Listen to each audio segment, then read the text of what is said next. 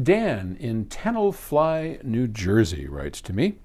And he says, Hey, Paul, why are AV receiver manufacturers, how do they manage to make DSD over HDMI from SACD capable Blu ray players possible, yet higher end manufacturers who focus on separates do not? I can't figure out why the low to mid end AVR manufacturers invest in making this possible while the high end companies do not. It seems kind of backwards, no? In today's world where SACD players are scarce, except for a few companies like PS Audio, all we have left for us disc spinners are SACD capable Blu ray players, which is fine as long as we can realize B- DSD over HDMI, which we can only with lower end equipment, which kind of defeats the purpose of it all, doesn't it? Yes, it does. Well, okay, couple of reasons. First off, the Sony copyright restrictions are pretty severe. And when SACD first came out, and, and you have to remember back when all this was happening. So, back when SACD came out, we were right in the middle of the Napster thing and with pirating um, because digital audio opened up a whole new era of sound quality, but copying quality. So remember when we had vinyl and when we had tape, you could only make one or two copies, and every time you made a copy, the, the sound quality went down, down, down, down.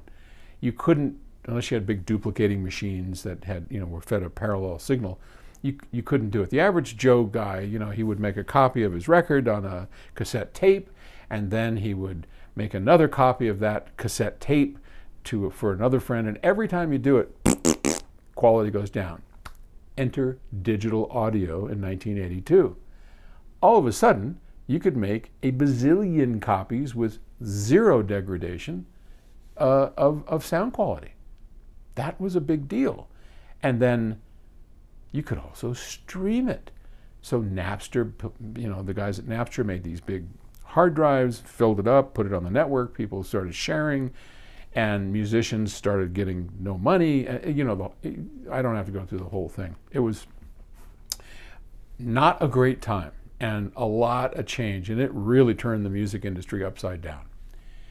Add to that, then, Sony coming around and saying, oh, by the way, we have this new format that does high resolution audio.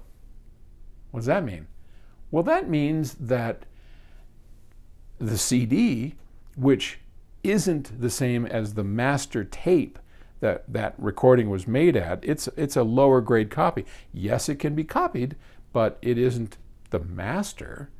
Now we can take the master recording and put it on a disc for you to have. So now the musicians and producers are going, "Are you kidding me? It isn't bad enough that the this this degraded copy can be you know, sent all over the world and, and rip us off. Now you want to give us, you know, access to the master tapes? And Sony said, oh, oh, okay, okay, we'll do it, but we'll make an encryption system that means nobody can copy it. And that's what they did. And to this day, you can't get the DSD stream off of an SACD or a Blu-ray. It has to be encrypted. So Sony makes a chip, and a couple of people make the same sort of chip, and it's an encryption chip, and it goes over HDMI, and it's all encrypted. You can't copy it, and if you, uh, you can copy it, but you can't do anything with it. And the only way to unfold it is through this Sony chip. And guess what?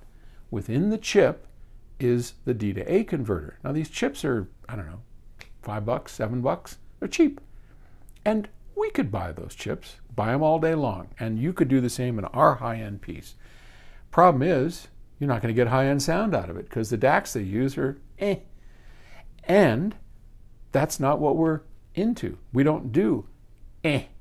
So one of the reasons Octave exists, we can have DSD and we can share it with people. And we know it gets copied, but that's okay. We have a, a great community. Secondly, um, our SACD player does output the true master from the SACD into an external DAC, but only our DAC. And that's the way we got around this whole thing is you can't really copy it. You can now play it on a high-end DAC and really hear what it's all about, but you can't copy it. So that's why. And most companies don't even want to mess with all that. I mean, we invested a ton of money making this work, and not every company wants to do that. So hope that helps. Thanks for the question.